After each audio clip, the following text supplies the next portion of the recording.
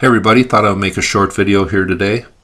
What you are looking at on your screen is a book that was, uh, it's really a photographic journal of a trip made to the Middle East in 1862 by a Francis Bedford. He went along with the Prince of Wales.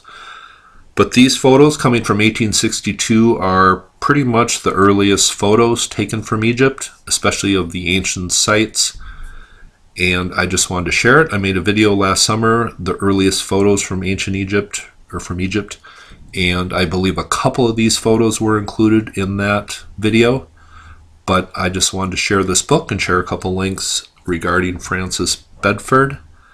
And I just think these photos are uh, really cool. But with that said, we're going to take a look here. These first photos come from Cairo, and these all come from March of 1862. These are some mosques in Cairo. This is the mosque of Muhammad Ali, taken on the 3rd of March, 1862. But here you see what the Sphinx looked like in 1862.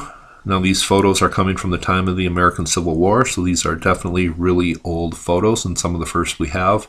But you can see by the Sphinx here, he was buried up to his chest the face looks rather deteriorated, and it's obvious that what we are looking at today, the Sphinx, has undergone a lot of modern restoration. Here is another picture, same one. This is the Temple of Isis and what it looked like in 1862. And I have made a video on the Temple of Isis, and maybe I'll leave that link below if I remember, but it is definitely looking a lot better these days. This is the Temple of Edfu, the courtyard of the Temple of Edfu. Now this is Thebes, ancient Thebes, modern day Luxor, and this is the temple built by Amenhotep III, and I believe this is the statue of Amenhotep III laying on its side here, and I believe this was the one that was re-erected just a few months ago.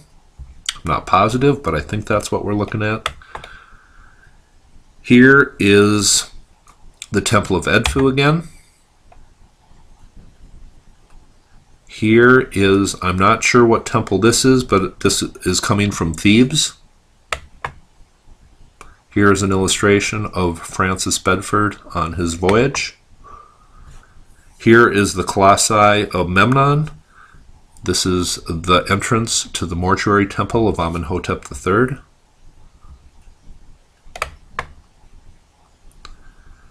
And this is the grand court of the Temple of Edfu. Another picture of the Temple of Edfu. And here is the uh, courtyard of that mosque of Muhammad Ali. But I just thought I would share some of these photos. These all come from March of 1862. And it's pretty apparent that a lot of restoration work has gone on in Egypt in the last 150 years. Hope you thought this was interesting. Have a nice day.